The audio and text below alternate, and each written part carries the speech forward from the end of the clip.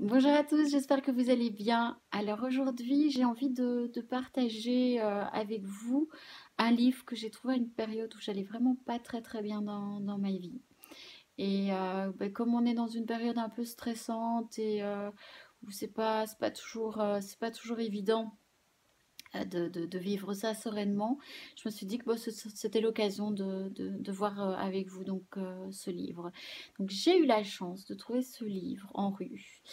Et donc il s'agit du livre de Serge Marquis. Alors celui-ci c'est la version c'est la version québécoise. La version la version européenne s'appelle On est foutu, on pense trop. Et, euh, et donc, euh, ben voilà, je fais, cette vidéo euh, dans le lit parce que justement, ce livre m'a beaucoup aidé. ce livre m'a beaucoup aidé dans, différents aspects de ma vie et, principalement aussi par rapport au sommeil.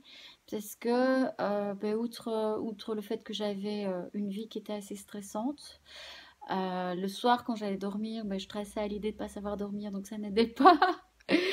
Et alors aussi, ce qui se passait, c'est que je refaisais tout le film de la journée, je ruminais tout ce qui s'était mal passé, et donc ça n'aidait vraiment, vraiment pas à, m'endormir.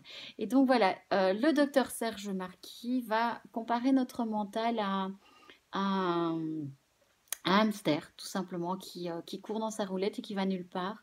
Et euh, il, euh, bah, y a plein de petites anecdotes, il y a plein de...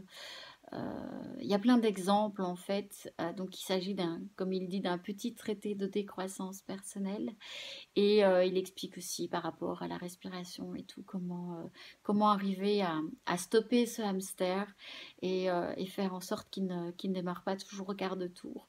Voilà, alors si vous n'aimez pas lire, je, vous encourage vivement à aller voir sur YouTube parce que euh, Serge Marquis est vraiment un, homme charmant, très drôle. Il a, il a un petit accent québécois qui est vraiment, euh, qui est vraiment très charmant. Euh, et, donc il a des conférences, il y a des interviews. J'ai eu l'occasion de le voir plusieurs fois en conférence et... Et moi, personnellement, je, ne m'en laisse pas. Voilà, c'est ce que j'avais envie de, partager avec vous aujourd'hui, un petit peu de légèreté. Et, et voilà, Prenez soin de vous, vous le méritez. Je vous embrasse très fort et je vous souhaite une très très bonne soirée. À bientôt.